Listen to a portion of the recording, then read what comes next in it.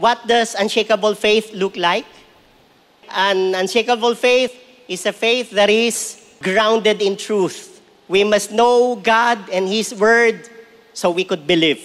Two, it is a faith that is revealed through trust. Knowing is not tantamount to believing. Knowing actually is easier than believing. We need to activate what we know and put our trust in God. That's too personal. And finally, unshakable faith is a faith that is displayed in deeds. Huh? Faith must be translated into actions. Faith without action is not faith, it's not faith at all.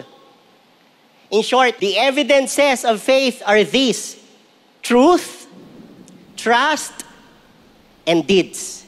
It must start in the mind, embolden the heart, and then move the hands.